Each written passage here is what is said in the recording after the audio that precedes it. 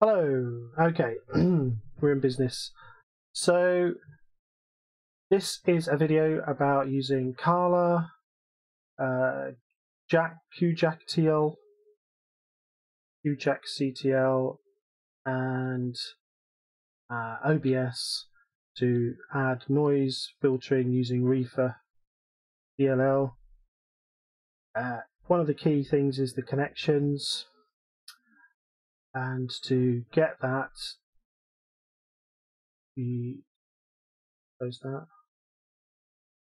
Right, inject there we go. Uh, we've started I'm not going to stop it because that messes everything up. Patch bay I had to add uh, front right to do that. It was edit and then select left change that to right and add. And I did the same for the sink so that was to get front right on both. Uh, save it and activate it. And don't bridge it between the two. Now the connections. We've got Carla, Pulse and System. If you see nothing then probably need to start it. When you start it you should see Pulse Jack and System uh, so you have to change the connections. So I've got it going from system to Carla, from Carla to Pulse, and from Pulse to sink to system. Uh, and the other thing I needed to do to get my desktop audio to work was go into sound settings and select the sink jack. No idea really why. I was using line out, but best sound Great. So that was in system settings. So this is Linux Mint Cinnamon 20. Uh, so that's all good.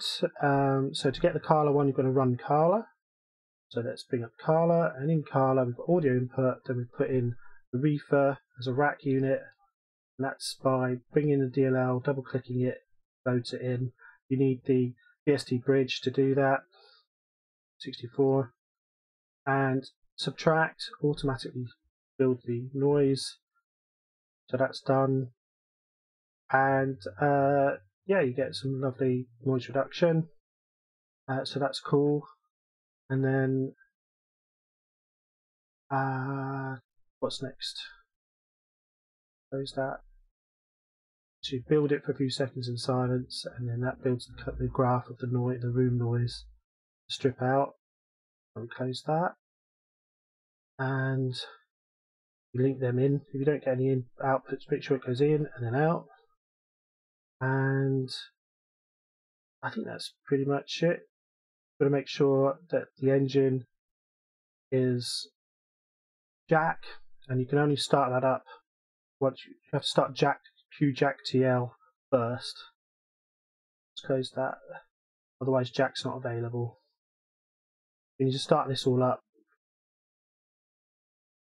uh, and then make sure you've got the right connection. So it's Carla to Pulse source, then uh, oh, sorry, capture to Carla.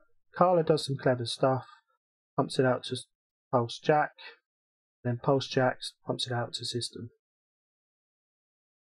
And that's the that's the flow that worked for me. And um, yeah, I think that's pretty much it. And don't forget to restart uh, OBS so that it can update itself. And I think that's pretty much it. How to get noise reduction using ReaFIR, in using Carla and Jack, and OBS. So hope it was of use. See you next time.